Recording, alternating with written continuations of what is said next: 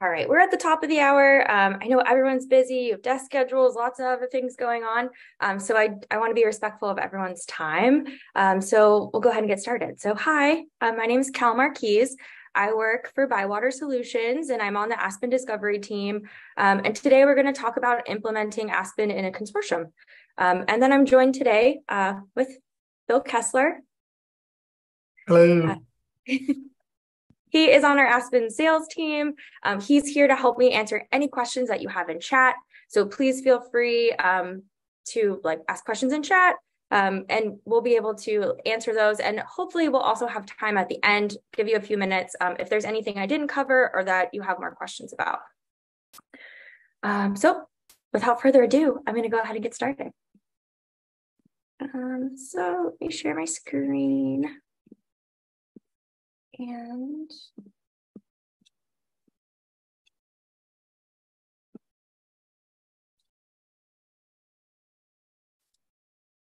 all right. So hopefully everyone can see the introduction slide. We're all here uh, talking about impl implementing Aspen within a consortium. Um, so my job title officially at, at uh, Bywater is an Aspen implementation specialist.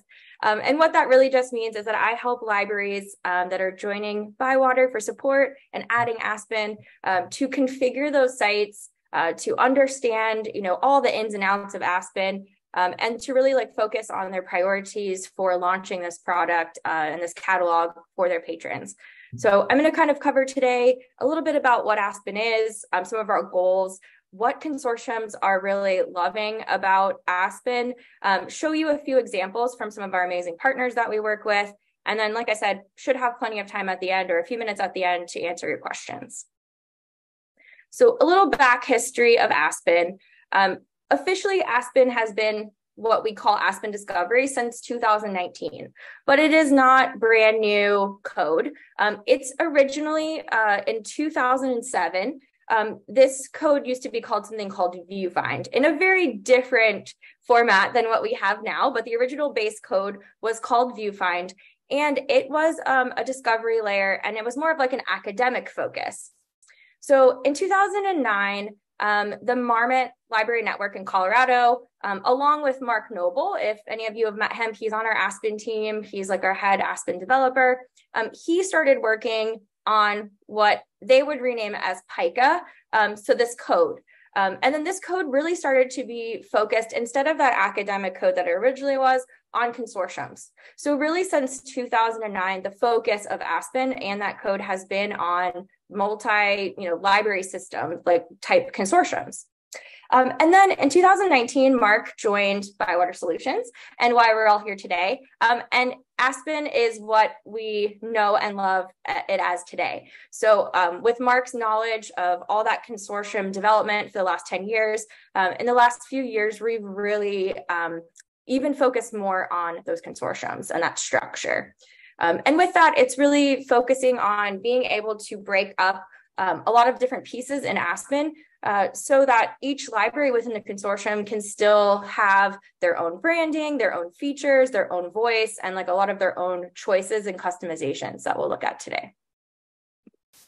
So before we see the today slide in 2023, um, one thing that happened since 2019 um, is that Aspen has grown a ton. Um, and some of the, the reasons and some of the what people love about Aspen really has to come back to like our main goals with Aspen. So what we ultimately want to do and what the focus of Aspen is, is to make things really patron driven and patron focused.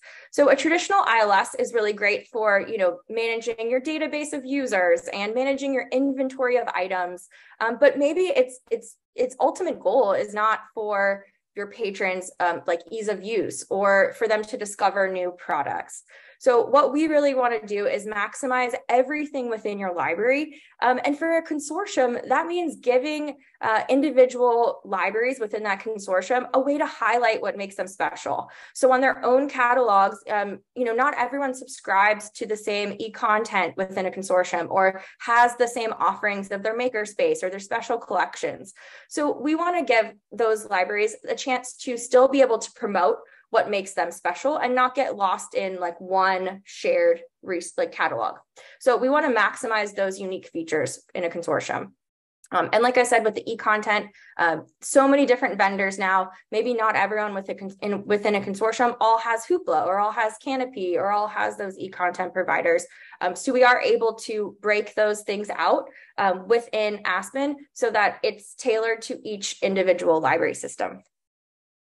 And then not only do we want to make this really easy for patrons to use, um, but we really focus on the implementation process on training and working really closely with the consortium admin team or like elected kind of leaders so that they can after like the initial kind of configuration pieces that maintaining aspen is just really easy. They they understand how they can go in and you know make changes or they can support the libraries within their consortium.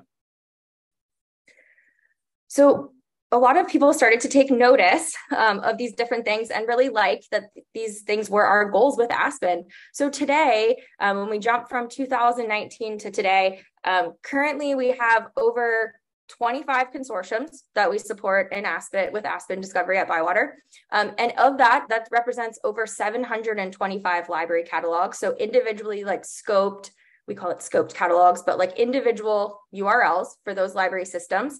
And that represents over a thousand library locations. Um, and we continue to grow. People continue to love Aspen. Um, we have over, um, we have five consortiums, um, at least right now, maybe six, um, that we're working with in implementation that aren't live yet. Um, and that's an additional 500 library catalogs and about, I think I calculated yesterday, almost 725 locations or things like that. Um, so you can see how it really starts to grow. So let's talk a little bit about the different consortiums that we support. So none of our consortiums are the same, really. They all kind of operate a little bit differently. Uh, so I tried to categorize them into some groups and I sort of split them up into these three things. So we have libraries that form together for purchasing power. So maybe they're getting better contracts with their support vendors or, you know, with Overdrive or these different um, other companies that support libraries they might come to us and they go through training together and um, they they learn together they decide and make a few decisions together. Um, but ultimately there there's no really connection between them. They don't share like any universal branding. Um, they've just joined together to say hey do you want to come with me to this vendor and we'll all purchase this thing together? So we work with libraries like that all the time. Um, usually it's maybe like a smaller group uh, maybe like under 10 libraries will do that then we have like our bigger um, central admin, usually consortiums. Um, those might have like staff that are actually paid consortial um, members. So they are, um, you know, getting uh, input from the libraries. They're helping make core decisions. They're really the ones that are focused at in the beginning during implementation on um, going through the full learning. They're going to be supporting uh, Aspen and their libraries in the future. Um, and a lot of times they'll have some sort of recognized brand or logo. Um, they're they're really well known as a consortium. And then we have something else somewhere in the middle. so these libraries may share resource, may share resources. They might not share any resources. Maybe three or four of the libraries within the consortium share the share resources. It really just depends. Um, and sometimes we also work with libraries like this that maybe a few people that are already branch managers or they're already the systems librarian um, have also kind of been volunteered uh, to work through this implementation and also be the Aspen point person. So whatever kind of configuration um, you might have, we have worked with it um, and we are happy to like work with all kinds of different types of consortiums. They're all a little bit different.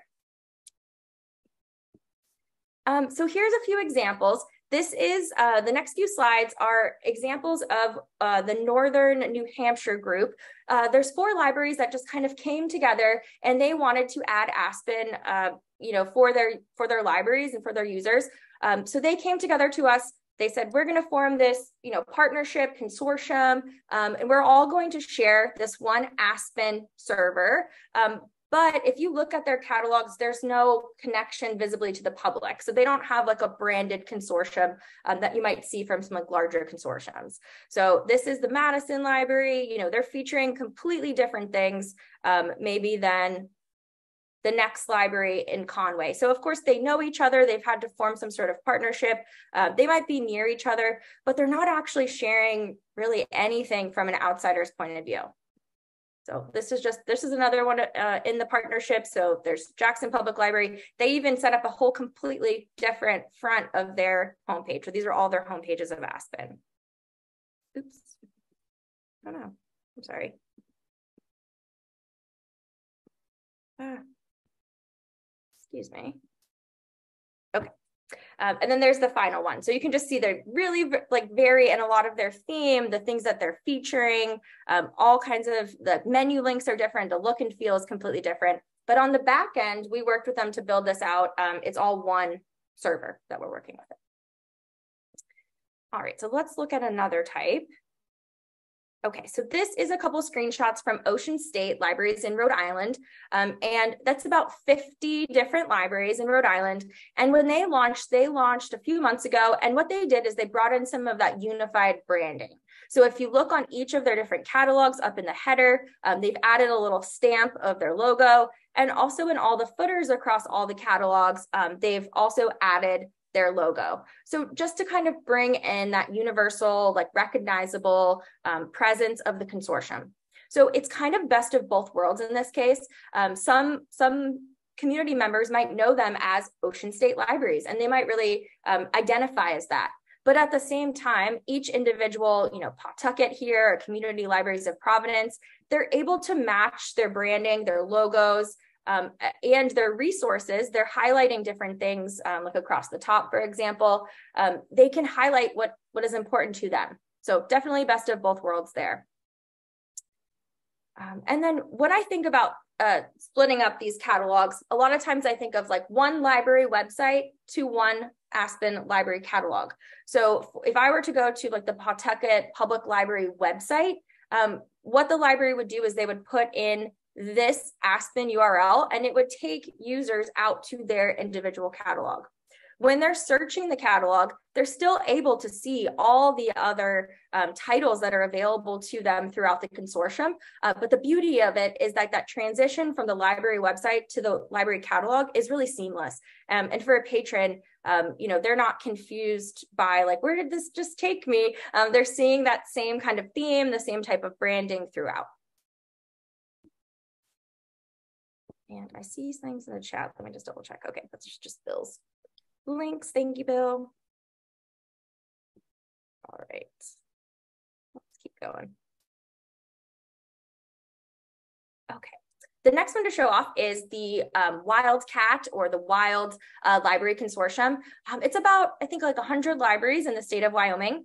And the other kind of thing I wanted to talk about here is not only do we see the um, like the management of the consortium being different, but so far I've really only showed you public libraries. What I want to show you here is that the state of Wyoming, uh, their library system, again, all sharing like one Aspen server, um, but they may, they have a state library, they have a K through 12, um, multiple K through 12 library systems. They have a law library, they have research and special libraries, and they even have a community college as well as their public libraries. Um, so that's just something that it's it's easy to still have your own, you know, unique needs. Like academic library has a way different need base than like a K through five. Um, so here's a couple of screenshots of that. We have uh, their state library. This is one of their public libraries. So just completely different, vastly different here, um, focusing on different things. Uh, we have their community college library and their browse categories in the front are featuring things like their nursing and dental programs. So much more targeted to their students and like the academic. Um, and then we have one of the, the elementary, this is an elementary and high school school system. So lots of variety there. Um, and the links that um, Bill is dropping in the chat as well, those are showing an overview of all the catalogs. So you can click through those different options and you could be taken out to the individual branded catalog. So that's just kind of like a menu uh, for consortiums, uh, kind of like a directory of the different catalogs so you can get an idea of what's available. And then finally, here's their state li uh, law library. So just again, just completely different needs there um, and all sharing one configuration. So I've showed you some kind of finished products, the libraries that are live, but how did we get there? Oh, and let me just show you one other thing too. So within the search results, this is what I was talking about, how um, the library is still able to show off everything across the consortium and then also the individual things that the library system has. So you're not losing out on sharing everything if that's you know what you choose to do. Um, so you'll still be able to see everything across all libraries. All right, so how do we get there? Um, let's talk a little bit about the implementation process. So like I've said, um, every libraries and especially consortiums that we support are unique. So there's not really like a one size fits all implementation plan. Um, we do kind of have a, structure that I'm going to kind of go over that we typically like to follow. Um, so the first thing is we call it a kickoff, but we're just trying to, you know, understand your priorities, your communities, your libraries. Um, we would really want to hear either, you know, what's missing right now from your current configuration, which things, you know, goals that you have um, for the future. Um, we also, you know, we welcome you uh, into Zoom. Like I'm in my my office right now. Um, sometimes you might see a cat or a dog. Um, we we love to just get to know libraries. We work with amazing people, and it's just really fun to also, you know, like personally get to know folks that we get to work with as well. Um, from that initial conversation, uh, we're going to start pulling together that plan for the next few months. Um, you know, looking at the training, looking at how we're going to roll this out to our libraries, how we're going to market this to the public, like all the different pieces um, that make up uh, an implementation.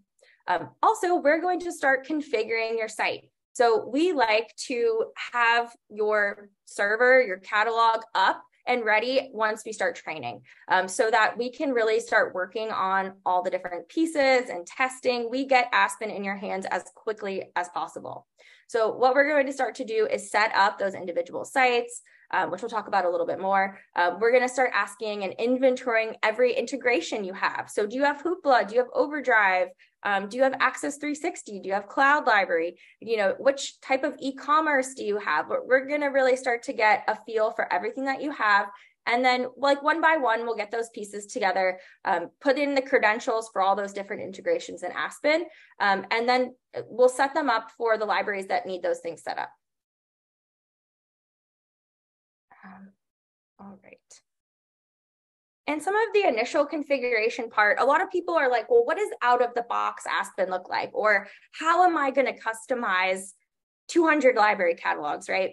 So I like to kind of show you, I just, I, I took out the text for the this library consortium system, but this is a new one that I've been working with uh, last week, so, or started last week. So we haven't even started meeting yet. I've just kind of built their initial um, site. Um, and you'll get an idea of like maybe it doesn't look that different for some of the other ones that we saw. So just out of the box, this is kind of what Aspen looks like. Um, so we'll we'll set this up with your logo. Um, we'll try to match some colors to your consortial brand. So this is their consortial logo, um, what that looks like. And then just as an example of one of the, the catalogs, so I've already started kind of setting up um, their, their collections. We have Hoopla integrated already. We have Hoop Overdrive integrated already. Um, and then here's one of their library systems within the, the consortium. I've gotten their individual logo and started setting up their individual site. So we do help you um, with the initial configuration. So making sure people have um, their information about their library system, their logo, a little bit of a theme. And then during training, we teach you exactly what you need to know for customizing that if you do want to make any additional changes. Sometimes libraries don't make any changes to the things that we've created because they love it and it looks really good. Um, but we will walk you through that. And then it really depends on your consortium and how active they want to be with you know with updating of aspen um, we're going to give you something that's really beautiful from the get-go um, and we just feel like if there's a small library in a consortium that has one or two staff members their catalog should look just as good as a library system in the consortium that has you know 50 staff members and a lot of manpower to be able to um, update and maintain their catalog. So we do a lot of that initially for you All right, then the next part of the implementation implementation timeline as we're configuring and, and setting things up um, is then we jump into our trainings. Usually we do training with that core group of folks. So either um, in a consortium that has uh, like an official staff that kind of uh, manages the consortium, we'll meet with them. Um, or if it's just some individual libraries joining, whoever is going to be like the branch manager or their systems librarian um, for those consortiums, we'll meet with them so that they have everything they need to know. They have an understanding of all the administrative settings within Aspen. This typically takes about six to 10 hours of training. Um, we do Zoom sessions. Um, it's also, I hate to say the word training because it's more like conversations. It's definitely like a partnership. Um, we're trying to work through things and understand your workflows and understand your priorities. Um, so it's not just me telling you do this, do this. Um, it's definitely more of a conversation. And we want to make sure that you feel really comfortable with all aspects of Aspen. Then what we usually do after we kind of get those initial configurations set up and um, library admin feel really strongly and uh, understanding Aspen is then we invite anybody else at the library system level um, that would be making maybe customizations. So in a larger consortium, if, if you know they have 50 catalogs, 100 catalogs, there might be a couple people at each library system that you know we would welcome in and teach them how to customize different pieces of Aspen. We'll also, regardless of your you know, configuration, we'll have multiple trainings for all of your frontline staff in Aspen, um, usually a few weeks before you go live. And then we're really going to be going over the patron experience. So how do I log in? How do I reset my PIN? Where are my checkouts? Where are my holds? How do I make lists? All of that navigation of Aspen so that all of your frontline staff feel really confident in, in answering all those patron questions. Um, and this is, I'm, we're going to be sending out the um, PowerPoint after this, but this is just kind of a, an idea of a sample timeline. So you kind of see the chunks that we, we put these training sessions together in. They're usually between um, 30 minutes and an hour and a half each session. And we really take all of Aspen and we break it up in pieces. So we're going through really everything that you would need to know over these different sessions.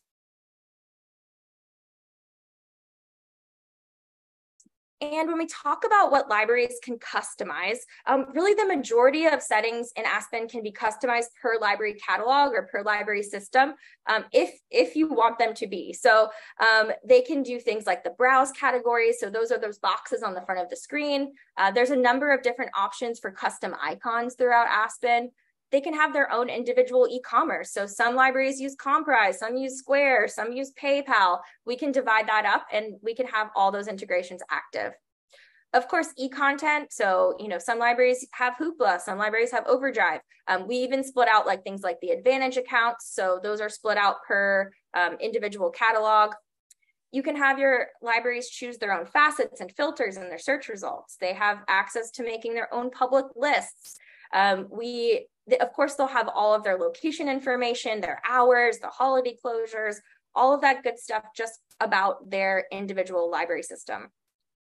Uh, we have areas along the top, like you may have saw, seen in some of the examples for uh, menu links. So you can bring in, you know, links to your own resources, your own events calendar, your own, um, you know, anything that you want to promote, your own databases.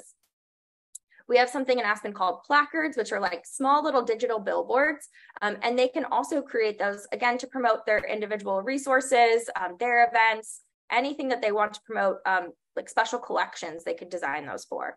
Of course, the theme, because we want to show off their brand.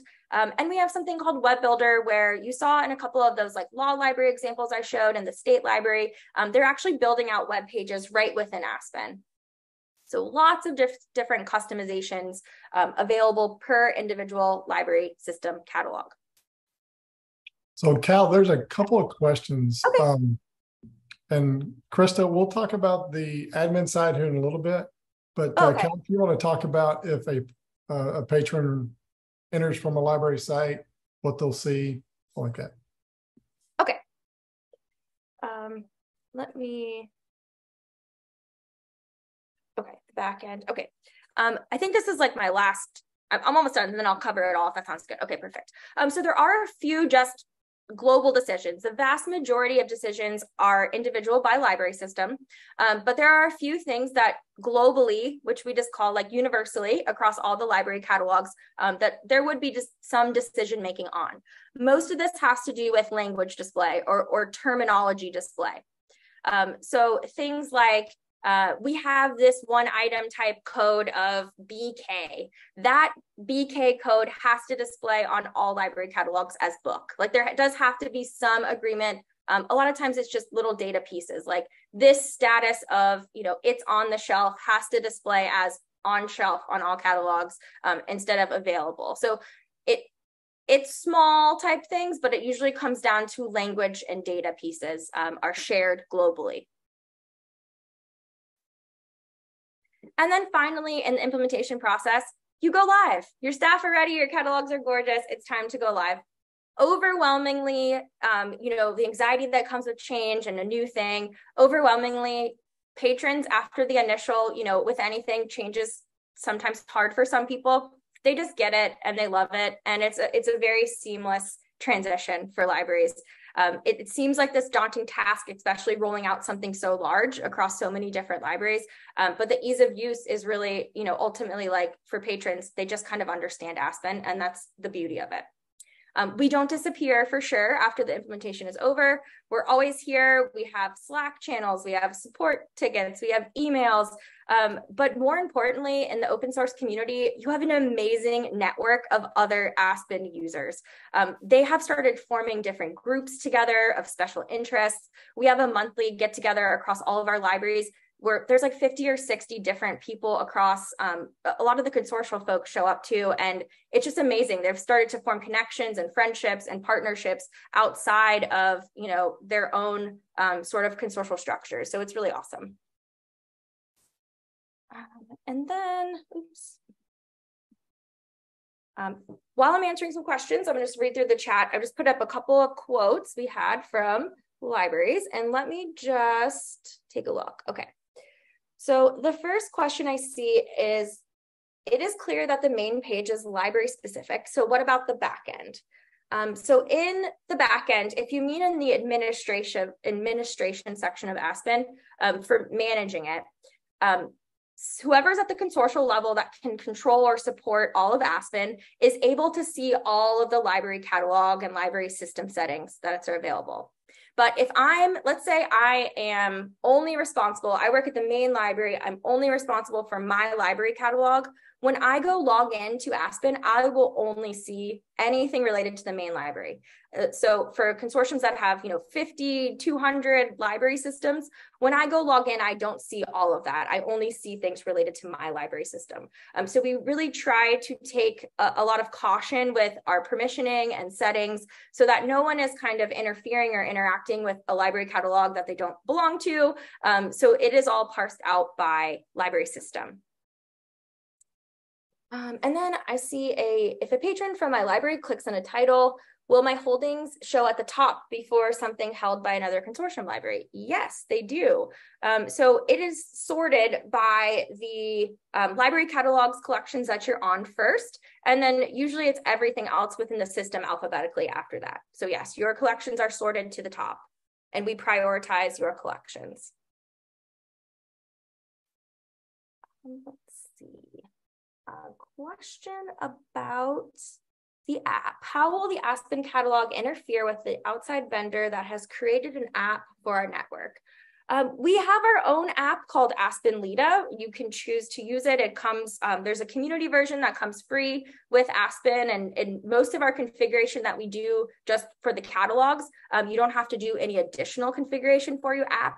But we do also have library systems who, you know, have contracts with other app vendors, um, and we have worked with them, and they have added Aspen, and we're able to, you know, set that up to work uh, for what they need. So, um, and then a lot of times, maybe when those contracts will end, um, they might work with us to add. Uh, we have something called the branded Aspen Lida, where they can have your you can have your own individual library app with us as well.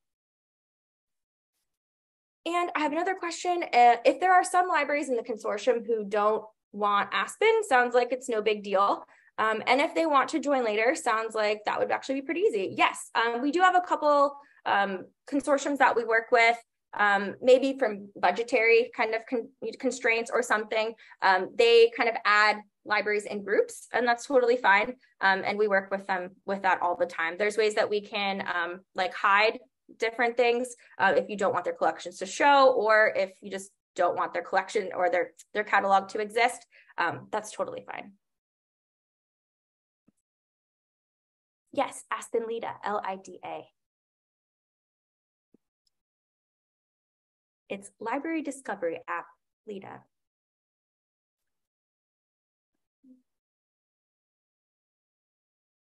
see, one more question. Uh, we have Encore now. It's my understanding we'll need to alert patrons to export out their reading histories before we end that contract. Um, is there any other features our office will need help patrons migrate over from our current our public catalog to Aspen? Okay, so this question is more of like a migration question. Um, and if you're adding Aspen, I think we support seven different ILSs. I'd have to count. So I think it's at least seven right now. So every ILS works a little bit differently. And all of your contracts with those vendors are also different. So a lot of things, if they can be exported, we might be able to upload into Aspen. Um, some libraries, um, we can just connect uh, through API connections and we can pull those things in. Um, it really just depends on uh, your ILS and also your current contracts. Um, but we can get you more information. And like Bill, if you want to reach out to Bill or he can reach out to you, um, we can provide you with more of like a list, maybe, um, if that's a concern. And Jennifer, I'll reach out to you with that answer specifically. Okay. Um, so I'm going to put in a couple of links in here, uh, Cal. One's going to okay. be from the Aspen Weekly. Okay.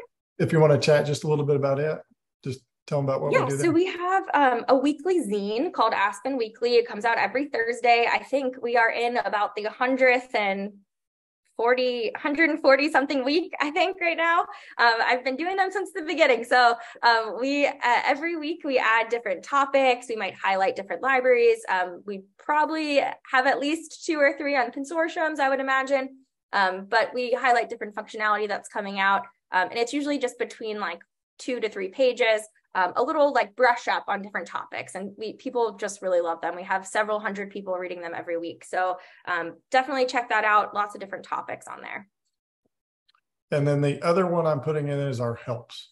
Yes. So help.aspendiscovery.org uh, has everything you need to know. It's tons of documentation. There's short short tutorial videos. Um, you just get more of an idea of what's needed to set up different integrations. Um, tons and tons of information. Uh, there's also a section um, with partner spotlight information. So tons of examples um, of different Aspen libraries and how they're using Aspen. So they, there's no two that look the same. So there's tons of different inspiration and things there as well. All right, so we're, we're out of time today, but if you are interested in learning, I kind of teased some of the integration things. Um, the next webinar we have in our series is August 15th, um, and it's on Aspen integration. So um, we will be sending out anybody who um, anybody who signed up for today, we'll send out a recording, uh, we'll send out the PowerPoint presentation, um, and there should be a link in, uh, in there too as well to sign up for the next thing in the series. Um, and if you have any additional questions, um, I'm Cal at bywatersolutions.com, and that's Bill at bywatersolutions.com. Um, we are very extroverted and we love to chat. So even if you just want to uh, hit us up, say hello, ask us anything, um, we are here to answer questions. So thank you so much for the time today. Um, and I hope you'll check out some of those links, check out some of our amazing examples. We have so many like stellar libraries that we work with. It's truly awesome.